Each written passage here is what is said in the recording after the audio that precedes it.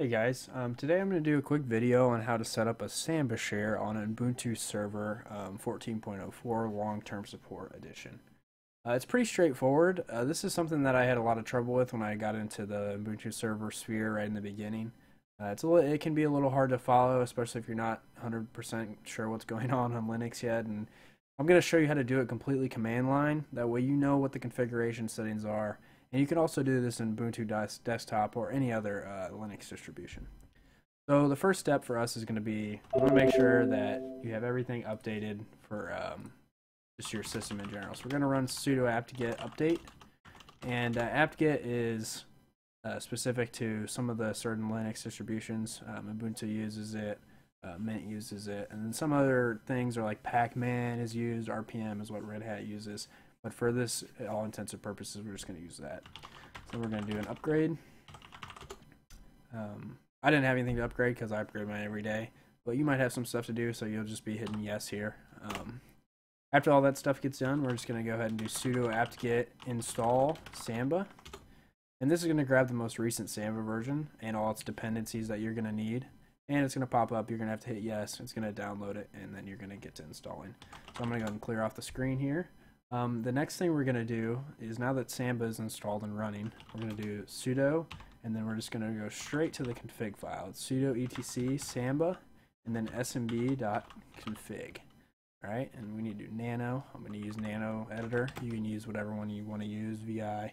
Um, if you're on uh, Ubuntu desktop, you can use gedit or anything on that. And then here's the SMB file. So all of this stuff up here, for all intents and purposes for this video today, we're not going to worry about. These are a little bit more um, advanced settings. If you're maybe doing this in some sort of small business environment, you might want to do some of these things. Um, there's a couple little options here I'll just talk on real quick with authentication.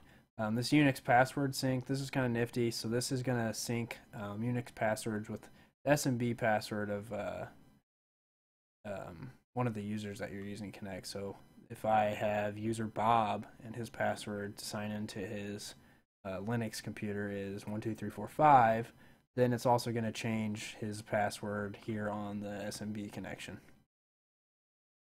All right, so we're just going to go ahead and hop down here. Um, if you actually read through this, a lot of this stuff is explained, so what each exact thing does. Um, they have done a lot better job in explaining this. Some of this stuff is newer since some of the previous Samba releases.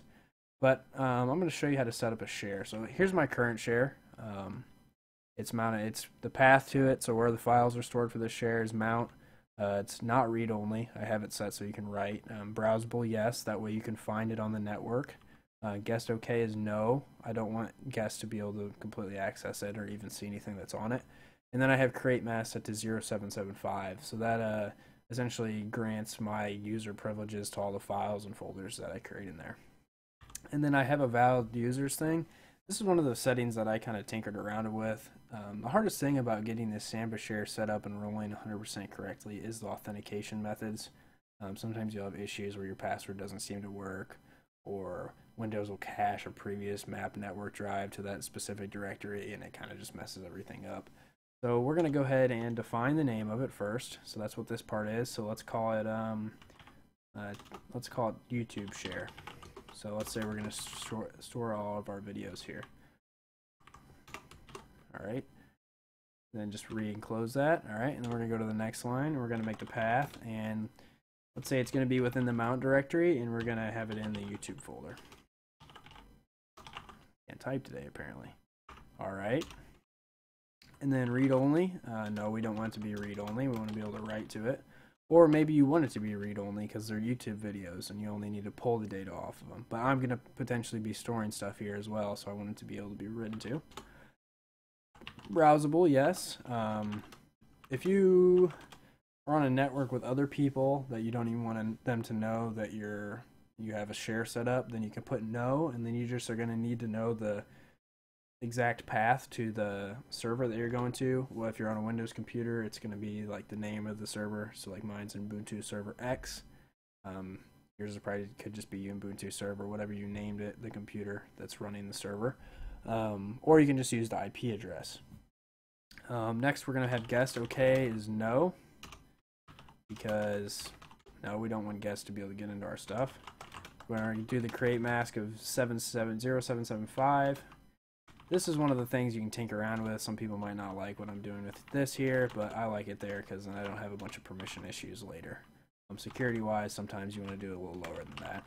Um, valid users, we're going to go ahead and make Jacob again. Just for intensive purposes. Um, all right, so we're going to hit save.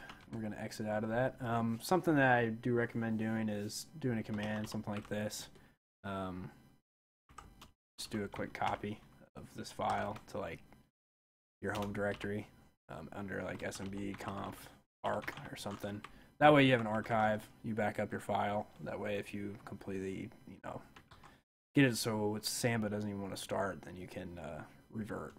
Um, next thing we're going to do now that we saved the files, we're going to do sudo service and then it's smbd and we're going to do restart. And then I think there's nmbd, yep, and that one too. So what this is going to do is this basically just restarted the Samba processes. That way our new share is up and running now. Um, you might not have access to it yet, so we're going to do this command as well. I like to do this. let me see if I can remember. It's smb pass, I believe. Oh, let me look it quick. Mm -hmm.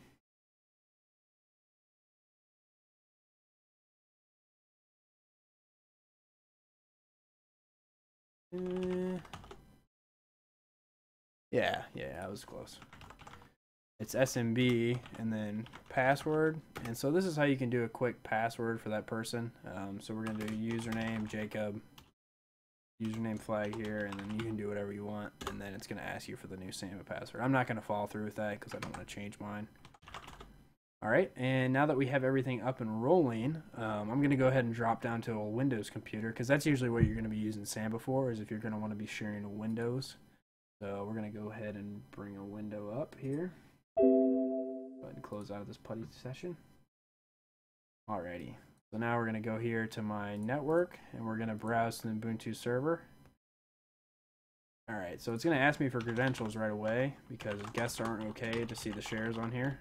We're going to enter in the credentials.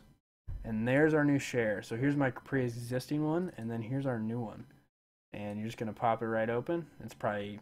Uh, oh, the issue now is that I don't have that actual folder defined on the server.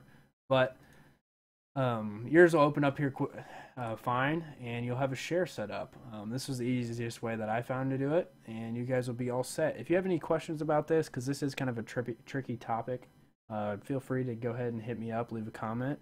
Um, I'd really like if you guys rated or subscribe this video. Um, thanks for watching, guys.